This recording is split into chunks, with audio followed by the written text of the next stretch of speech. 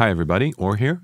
And in this video, I'm going to take you through activating and downloading the samples for MINDst Drums. Now, when you first start up MINDst Drums after installing, you'll get this screen, um, which will allow you to load license, start trial, or purchase a copy.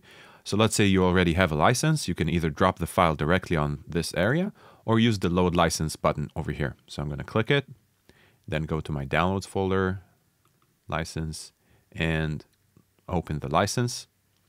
Once you do that, you're going to see a message saying license activated and the number of activations you have left. So I have nine activations. Uh, out of them, only this machine is activated. Good. Once that happens, I can click outside and go to the second step, which is configure samples.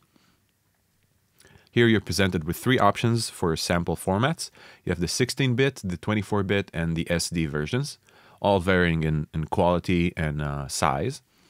Uh, you can see all the tech information here. And I'm presented with two methods for each format. Clicking download will use the built-in downloader and extract the files and do everything for you, basically up to the point where you're fully able to use MINDst. And then there's the copy URL method. Let's start with the download. So if I click it, it opens up this prompt and I'm going to use my music folder and you simply need to press open.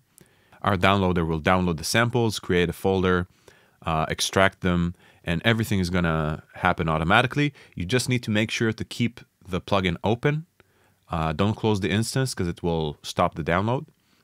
So reaching 100% here, you'll see that immediately after the download, it's going to start unzipping the files. It's going to take a couple minutes as well. And once it's done unzipping, it loaded the samples just like this. Let's make sure it's playing. Seems about right.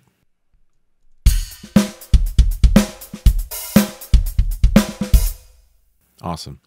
All right, I want to show you another method. So if you run into issues with our download button here, you can use the copy URL method, which is used to download externally.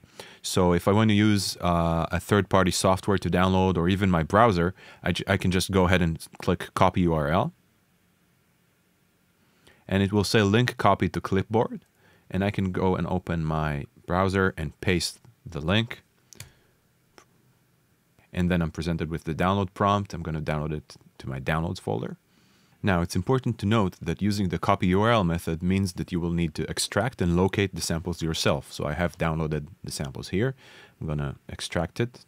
After downloading and extracting the samples, I'm going to go to locate and then click locate samples and head over to my downloads folder where um, my sample folder is located. Going to find it. It says MINDst Drums 16-bit. So that's the version I downloaded. And I'm going to press open.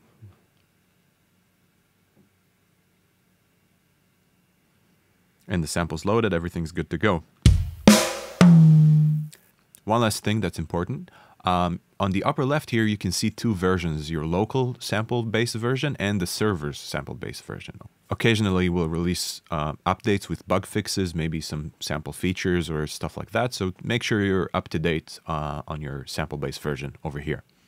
Generally, you can click the preset menu here and select check for updates to see if you're using the latest version. That's it for today, and I hope you enjoy MINDst Drums.